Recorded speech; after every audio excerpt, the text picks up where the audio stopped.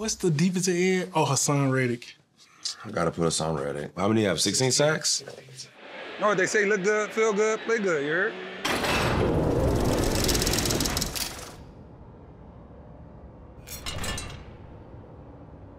You know, he's he's kind of this tweener guy, right? He's he's he's a little bit of a backer, he's a little bit of a defensive end, but he can do it all.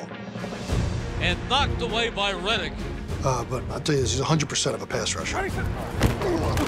Including playoffs, Haason Reddick had 19 and a half sacks. No matter what game we're playing, you know, Haason is going to get his.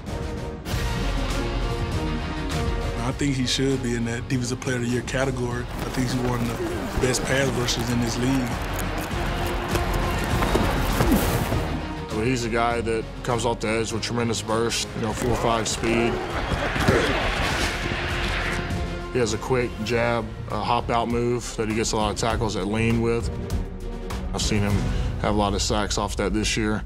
One thing that I say he do better than anybody in the league is when he get to the quarterback, he going for the ball. He not just going for the sack. Lawrence straight back. Lawrence looks. Lawrence hit. He fumbles the football, and I believe the Eagles have it. They do. They do. Haason Reddick made the hit. Fields back.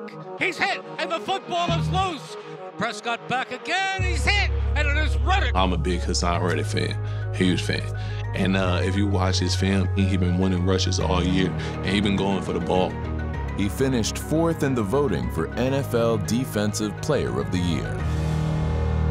My favorite play from last year, I would have to say, was the sack in the first playoff game against the Giants. And they're going to go for it on fourth and eight. Because it was a tone setter. It kind of got the energy going. And it set a standard for what that game was going to look like. He's hit. Haason Reddick, that's another sack. You know, I think that set the momentum for the rest of our playoff push and going into the Super Bowl. We said we ain't going nowhere yet, baby. Another opportunity. The NFC Championship. This is the type of game where things are gonna get heated. Brock Purdy. Ball got hit. Haason Reddick. I just talked to Brock Purdy on our podcast, and I got a lot of respect for that kid, but I mean, that play solidified that game early. He just gets hammered by Haason Reddick. And I'm sure Haas was not intending to hurt, but when you're getting hits on a quarterback as frequently as he does, stuff like that happens, and that's got to be the standout moment from him from last year. You can't block him with a tight end.